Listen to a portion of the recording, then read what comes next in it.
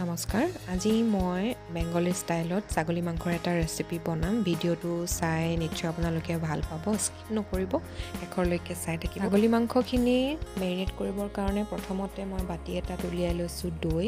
দৈ মই দুই চামুচ লৈছোঁ। তাৰপাছত মই লৈছোঁ হালধি এক চামুচ। আৰু মই লৈছোঁ নিমখ। নিমখ লৈছোঁ মই এক চামুচ। তাৰপাছত মই লৈছোঁ মছলা। মছলা আধা চামুচ দিছোঁ। তাৰপাছত লৈছোঁ জিৰা। জিৰাও মই অকণমান দিছোঁ দেখিছে আপোনালোকে? এতিয়া এইখিনি মই বাতিটোত ভালকৈ চামুচ এখনেৰে মিক্স কৰি ল'ম। এতিয়া মই পিঁয়াজ এটা ডাঙৰ ডাঙৰকৈ কাটি লৈছিলোঁ সেইখিনিও দিছোঁ।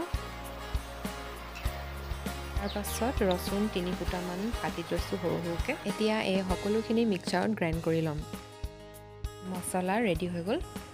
এতিয়া মই মাংসখিনিত মছলাখিনি দি দিছোঁ আৰু এই মছলাখিনি মই হাতেৰে মিক্স কৰিম ভালদৰে।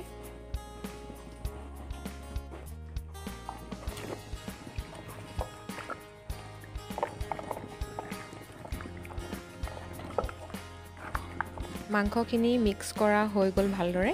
এতিয়া মই ইয়াত ঢাকনি এখন লগাই পিনি এইখিনি মই ফ্ৰিজত আঠ ঘণ্টাৰ কাৰণে ৰাখিম আৰু বেছি সময় ৰাখিলে মানে মাংসখিনি ভালদৰে মেৰিনেট হৈ যায়।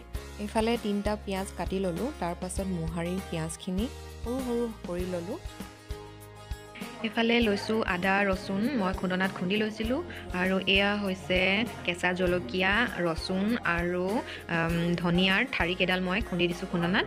তাৰপিছত এইফালে লৈছোঁ তিনিটা শুকান জলকীয়া লৈছোঁ আৰু ইয়াত আছে লং ইলাচি ডালচেনি আৰু এইফালে লৈছোঁ তেজপাত তিনিখিলামান কাটি তাৰপাছত লাগিব মোক অকণমান দৈ। এইফালে মই আৰু এটা মছলা তৈয়াৰ কৰি লওঁ। ইয়াত মই হালধি আধা চামুচ দিছোঁ। হালধি মই মেৰিনেট কৰোঁতে মাংসখিনিত দিছিলোঁৱে সেইটো কাৰণে মই আধা চামুচে হালধি দিছোঁ। ইয়াত দিছোঁ মই ৰেড চিলি অলপ। ধনিয়া পাউডাৰ অলপ দিছোঁ। জিৰা পাউডাৰ অকণমান দিছোঁ। গৰম মছলা দিছোঁ অকণমান। তাৰপাছত দিছোঁ মছলা। মছলা অকণমান বেছিকৈ দিছোঁ।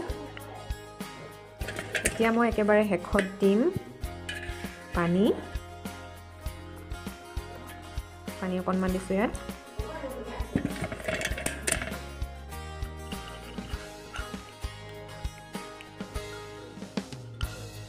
এইফালে এটা মই কেৰাহী পাতি লৈছোঁ। ইয়াত মই দিছোঁ মিঠাতেল তেল গৰম হৈ গ'ল। এতিয়া মই ইয়াত দিছোঁ শুকান জলকীয়া তিনিটা। তেজপাত। লং ইলাচি ডালচেনি।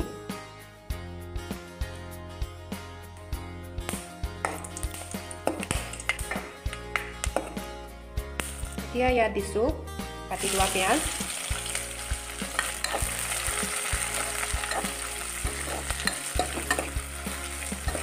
এইখিনি ব্ৰাউন কালাৰ হোৱালৈকে ভাজি থাকিব।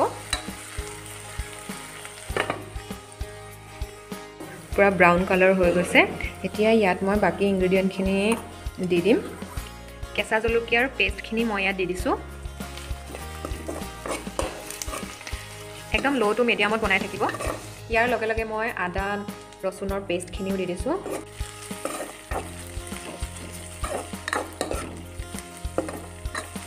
এক মিনিটৰ পাছতে মই যিখিনি মছলা তৈয়াৰ কৰি লৈছিলোঁ সেই মছলাখিনিও দি দিছোঁ।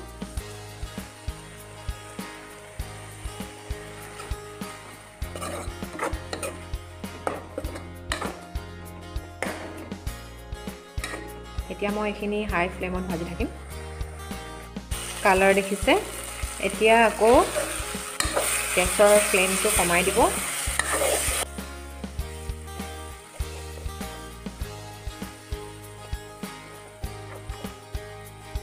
প্ৰায় আঠ ঘণ্টামানৰ কাৰণে মই মেৰিনেট কৰি ৰাখিছিলোঁ মাংসখিনি।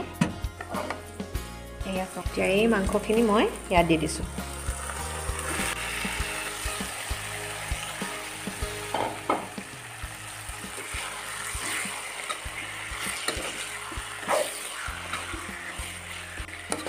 আচলতে মাংস মেৰিনেট কৰি ৰাখিলে খাবলৈ বেছি টেষ্টি হয়।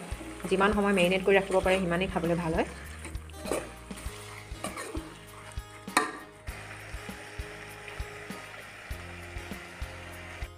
আকৌ মই এইফালে বাতি এটাতে দৈ উলিয়াই লৈছোঁ। দৈখিনি মই মাংসত ব্যৱহাৰ কৰিম। দৈ এয়া দেখিছে আপোনালোকে ঘৰুৱা দৈ হয়। দুই চামুচ আধা মই দৈ লৈছোঁ আৰু এইখিনি ভালদৰে মিক্স কৰিব।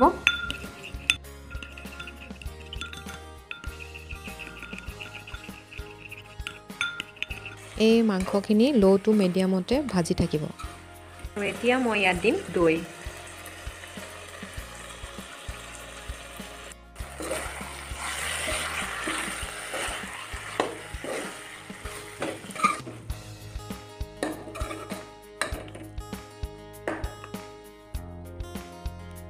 নিমখ দিছোঁ মই এক চামুচ আৰু যিহেতু ইয়াত মই পানী দিম আৰু আপোনালোকেও সোৱাদ অনুসৰি দিব নিমখ। আৰু এইটো কথা মনত ৰাখিব যে মেৰিনেট কৰোঁতে আপোনালোকে কিমান মাংসখিনিত নিমখ এড কৰিছিলে তাৰ বেচিছতহে আপোনালোকে পিছৰ নিমখখিনিও দিব পাৰে। চেনি দিছোঁ মই কালাৰৰ কাৰণে আৰু সোৱাদৰ কাৰণে। চেনি প্ৰায় এক চামুচে মই দিছোঁ।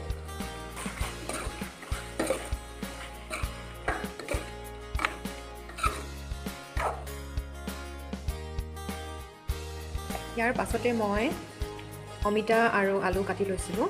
সেইকেইডোখৰো দি দিছোঁ মই আৰু ছাগলী মাংসত অমিতা দিলে বুলি ক'লে খাবলৈ বৰ ভাল লাগে আৰু মাংসডোখৰো বৰ ধুনীয়াকৈ সিজে। আপোনালোকে দেখিছে আজি মই কুকাৰত বনোৱা নাই কেৰাহীত বনাইছোঁ তাৰ কাৰণে যথেষ্টখিনি সময় লাগিব। এতিয়া এইখিনি ভালদৰে লৰাই দিব।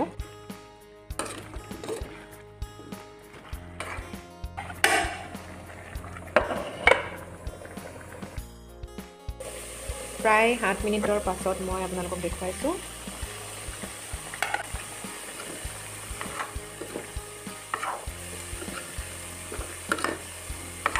এইখিনি আকৌ ঢাকনিখন আকৌ লগাই দিব।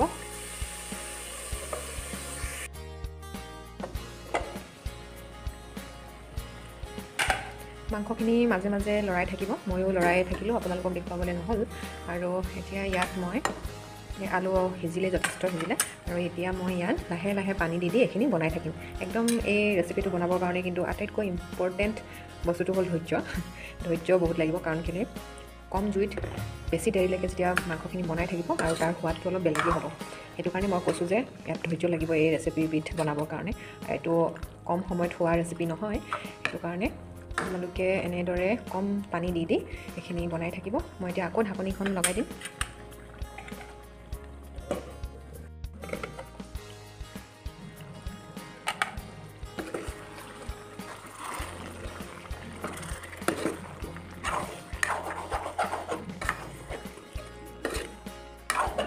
এতিয়া মই আকৌ ইয়াত পানী এড কৰিম। গৰম পানী দিছোঁ কিন্তু দেই ঠাণ্ডা পানী দিয়া নাই। এইখিনি আকৌ অকণমান সময় মই বনাই থাকিম।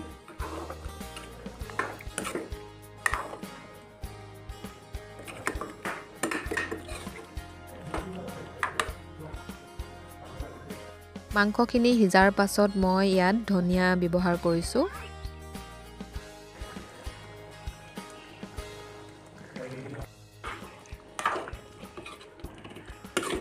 আপোনালোকৰ দেখি লোভ লাগিছে নাই মই নাজানো কিন্তু মোৰ কিন্তু বনাই থাকোঁতে বহুত লোভৰ পানী পৰি গৈছে। কাৰণ ইয়াৰ গোন্ধ আৰু দেখিবলৈ ইমান ধুনীয়া হৈছে। মানে ইমান খাওঁ খাওঁ লাগি গৈছে মোৰ। মাংসখিনি আপোনালোকে গ্ৰেভি খাব বিচাৰিছেনে নে কাৰী খাব বিচাৰিছে তাৰ ওপৰত ডিপেণ্ড কৰি পানী এড কৰিব। আমাৰ আজি যিহেতু পোলাও আছে সেইকাৰণে মই অলপ গ্ৰেভি বনাইছোঁ। ছাগলী মাংসৰ ৰেচিপি বেংগলী ষ্টাইলত তৈয়াৰ হৈ গ'ল। এই ৰেচিপিটো যিমান সময় আপোনালোকে বনাই থাকে ইয়াৰ কালাৰ আৰু বেছি ধুনীয়া হৈ গৈ থাকিব।